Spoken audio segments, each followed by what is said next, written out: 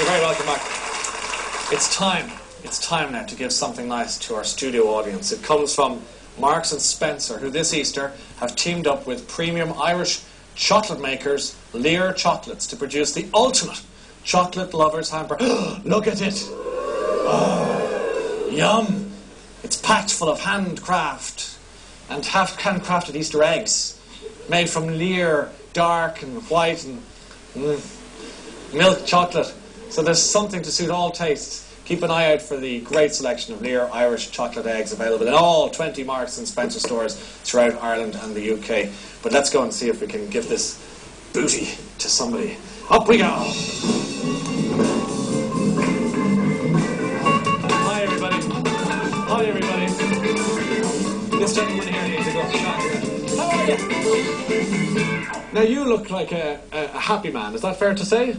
It is. Yes. What's your name? Tom Frawley. Tom Frawley. Can I ask you what you do for a living? If you're working, retired, or No, I have a pub. oh, and what pub is it? Pardon? Which pub is it? What's the name of the pub? Uh, Frawley's. Oh, jeez, like me, the and where is Frawley's pub? Uh, Lahinch. Oh, gorgeous. It's a Yeah. nice part of the world. How long have you been working there? 81 years. How old are you now? 90. Ah. How nice.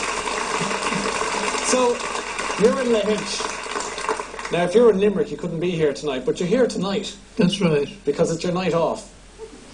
Do That's you, right. Do you get many Good Fridays off?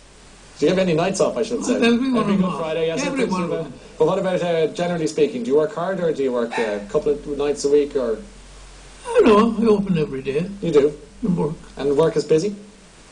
Uh, sometimes. Sometimes, yeah. But you're still there pulling the pints and doing the whole thing. That's right, yeah. Excellent. Any, any thoughts of retirement yet, or are you just going to hang in there? No, I keep going as long as I'm able. And so far, so good. That's right. Do you like chocolate? Sometimes. Good. well, thanks to you, there's a hamper of chocolate for you and for every single member of this audience. Okay.